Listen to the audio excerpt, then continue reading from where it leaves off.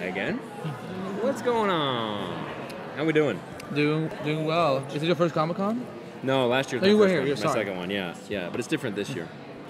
So one of the burning questions I've had for Ralph is, I mean, it's really about Sue.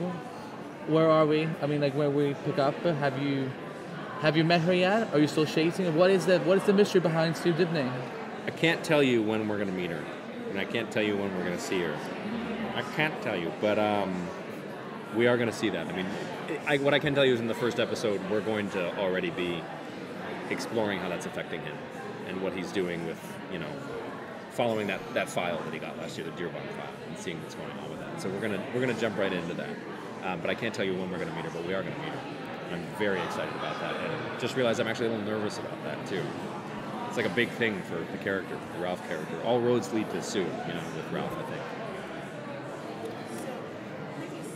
last season, uh, it's a lot about Ralph wanting to be part of Team Flash. Yeah. And I feel like by the end of the season, he is now part of that family. He's part of that Team Flash. Yeah. Um, what are we, what are we going to see going forward with, with that relationship? You mean his relationship to the rest of the team? Yeah. I think one of the things that you know that I took away from last season and that we explored was he's sort of like in a lot of ways the heart of the team a lot of times you know he was developing his relation we developed his relationship with cisco caitlin with killer frost with sherlock. Sherlock.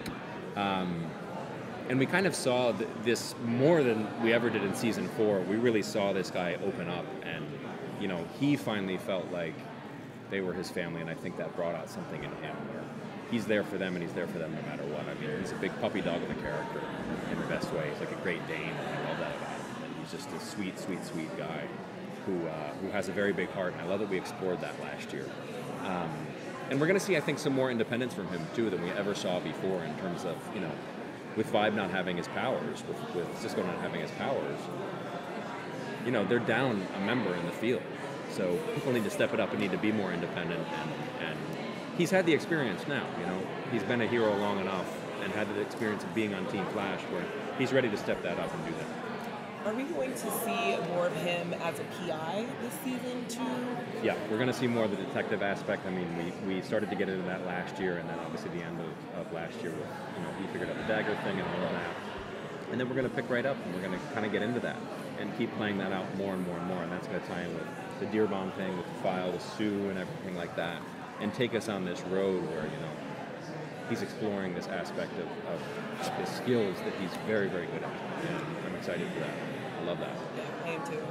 So I'm sure you're not allowed to say too much about Crisis, um, but um, let's just say in the case that you are in it, that how does it how does it feel to get to be part of one of the maybe biggest comic book stories of all time now being brought to television? You know, I feel the way about that that I feel about uh, being this playing this character and being on this show, which is I just feel extremely lucky to be totally honest. And I know that sounds like a talking point, but that's the honest truth. Is I grew up with a trunk full of comic books and two older brothers and watching Batman the animated series and like, you know, I remember seeing Tim Burton's '89 Batman movie in the drive-through. You know, when I was four years old. I grew up living this kind of stuff and enjoying this kind of stuff. So to be a part of it, and then to think that I'm going to be a part of something like Crisis, man, the ten-year-old in me is just like doing backflips all the time. You know, it's very, very cool. I love my job, and I'm very lucky to be able to do it. Uh, and I'm excited to see what happens with the crossover. What do you want to see in Crisis? Can you? I don't even know how to touch Okay. that one. I don't even know how to touch that one. It might be more about what do I not want to see Okay. in Crisis. Okay. Um, because there's a cost that comes with Okay. that. What I can tell you is that it's going to change things forever in terms of how this whole world works, and in ways that you that you might expect, and in ways that you also might not expect. But having said that, there's a lot like I know very little about it. I know very very little about it. I mean, I'm, I'm a bit of a mushroom. They keep me in the dark and feed me, you know what, you know, and then I find out when it's time to go to work. Right. But uh, I haven't learned that much about it yet. Thank you. Ralph Dibny is such a beloved character for so many of us from the comics, and in the TV show iteration when they introduced him was a slightly different take. Was there a favorite part for you as an actor in, in growing and evolving him, where, where you really discovered this is my favorite side of Ralph to play or, or, to show? Well, what, what he is now, what he is, what he was, you know, midway through season five and at the end of season five and now at the beginning of season six. That's how I always saw him, and that's how you know when I did the audition process, I played him in that way too. Um, and then they wanted to see you know the the other more Tex Avery walking cartoon character kind of side of things, which I have a lot of fun doing. I have a lot of fun doing that kind of you know pratfall slapsticky kind of stuff. But the way he is now is the way that I always saw him, kind of a bit more fully formed, and he's going to evolve even more. But our goal when I started was cool. Yeah, we see that too, but let's start him here so we can bring him to that. Because if we bring him in and he's fully formed, we're not going to have that much to mine in terms of having this character grow. And I think Ralph is, you know, a lot more complex than than maybe people realize. I think fans realize that, but I think there's so much to dig in with that guy, and, there's such a rich history and so much progression to do, including the detective thing, including the Sue thing, including you know all the elements that we brought in in season four. I'm glad that we did it that way. I really am. I when I think back of how I was playing him in, in episode five or six of season four. And then I think of how I was playing him in 601 or 602 and, and who he is now. He still feels like the same Ralph, but you know, he's like the guy you went to college with that you see like a few years after college, and you're like, man, you're still Ralph, but like, whoa, you know? I love that.